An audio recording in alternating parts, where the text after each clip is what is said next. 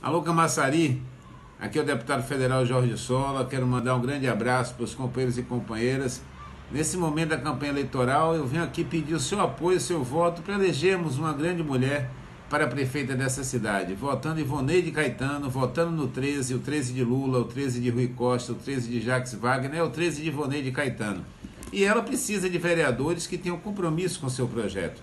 Por isso quero pedir o seu voto, o seu apoio para reelegermos Jackson, 13 mil.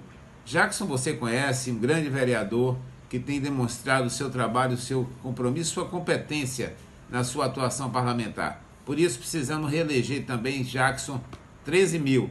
Ivoneide Caetano, 13. Jackson, 13 mil, vereador.